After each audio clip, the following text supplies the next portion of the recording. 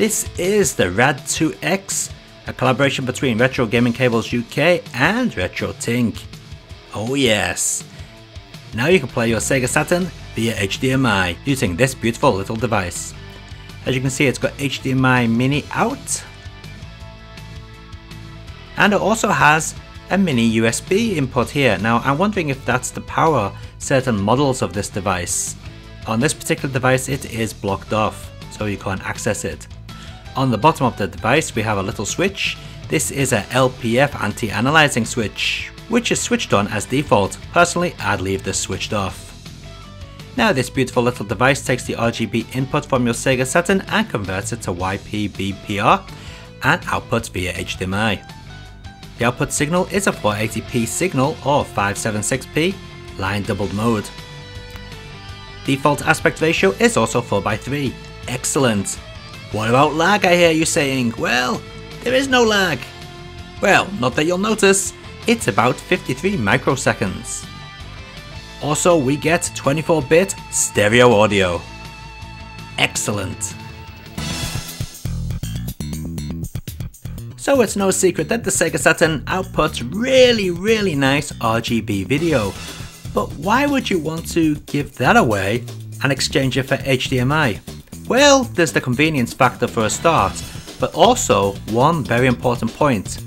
I've been playing Sega Saturn through RGB since 1995 and I've always had the issue no matter what type of cables I have, official or non-official, there is always picture noise. For example, let's take a look at the intro to Sega Rally and just listen to the background hum when the title comes on.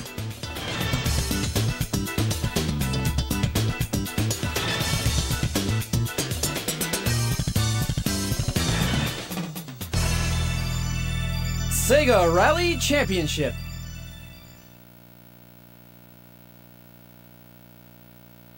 Yeah, it's pretty annoying, especially when you're playing at high volumes. Now let's take a look at the HDMI signal and just see if you can hear any background noise.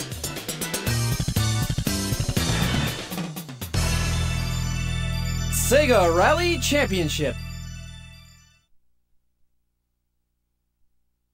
Yep, absolute silence.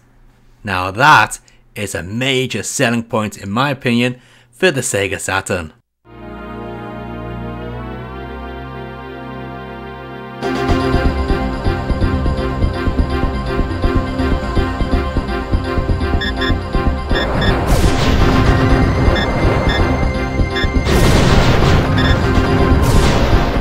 Now as mentioned, this switch does have a low pass filter on it. But is it any good? Well, let's take a look here using Panzer Dragoon Zwei. Hmm, now as you can see, now the low pass filter is off. And now it's on. And you can certainly see there is a slight difference. But in my opinion, it doesn't really improve the look of the game. Take a look again. Okay, this time focus on the E on the pause sign. Here it is with the low pass filter switched off. Let's take a look at a high resolution Sega Saturn game running in this mode.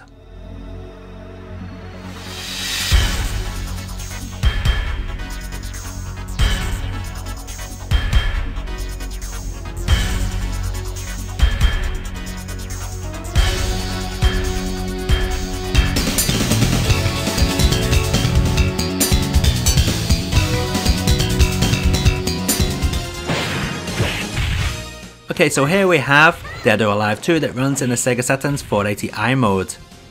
And as you can see, it looks fairly good. This is without the low pass filter switched on. But if we switch the low pass filter on, you do notice a bit of smoothing to the character's legs for instance. Take a look.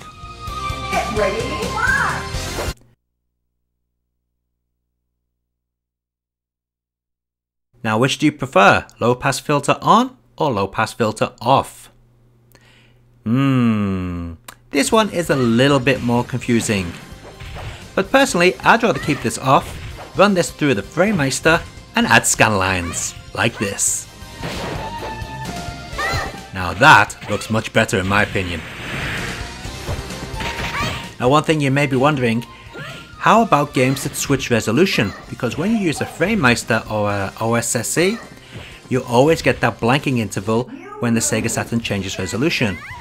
Well, with the RAD2X, you do get that blanking interval, but you only lose about one second of image, so it's not too bad, unlike RGB where it's seamless. But, for example on a FrameMeister, you can lose about 4 seconds of signal, which means you end up getting your ass kicked while the screen is blank. So how does the basic RGB output of the Sega Saturn compare in video quality to using HDMI out via the RAD2X?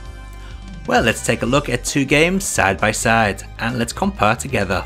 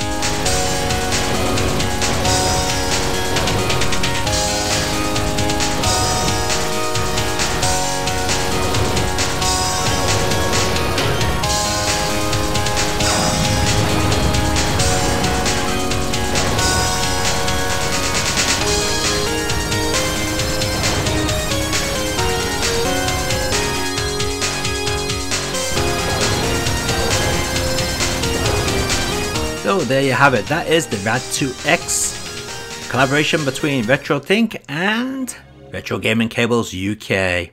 Currently this is on sale for £47 and 99 pence. That is in December 2019. So far we've only seen video captures of this device, but what does it look like on an actual TV? Well let's take a look. Here is the Sega Saturn running through my RAD2X on a 4K panel outputting at 720p. Of course, with scan lines added. I think it looks pretty cool.